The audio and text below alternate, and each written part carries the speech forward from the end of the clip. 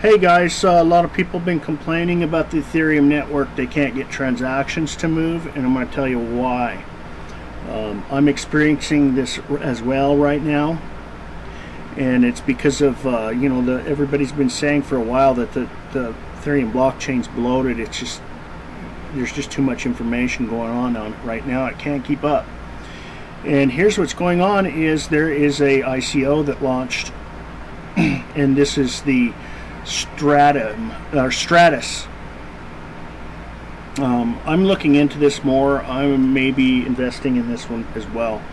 So but uh, I'll let you guys know what my findings and everything are but it does look like a good ICO to get into. So this is the reason right here is this ICO launched and this is why um, we're getting all of these funds that are we're trying to transfer and are just stuck in nowhere and let me show you.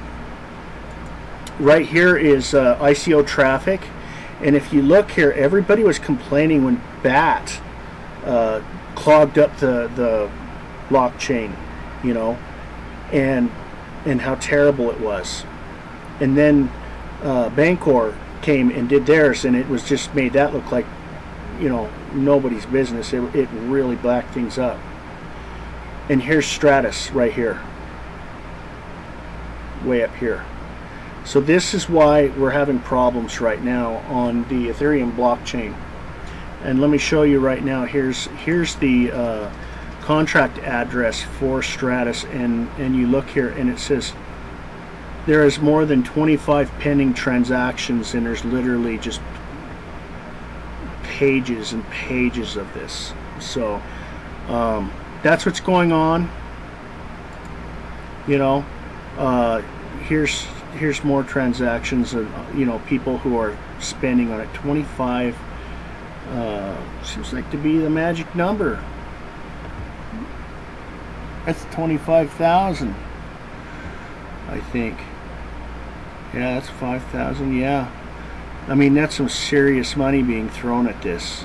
10,000 so there's some big money being thrown at this uh, ICO and uh, that's why that's why you see uh, the Ethereum blockchain backing up and we can't get our tr transactions through.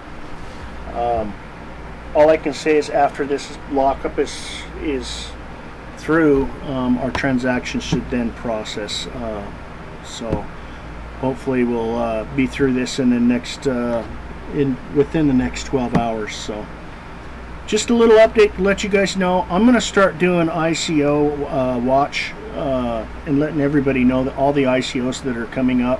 Guys I really advise you to think very very seriously about investing in any ICO because uh, in my opinion most of them are going to be scams.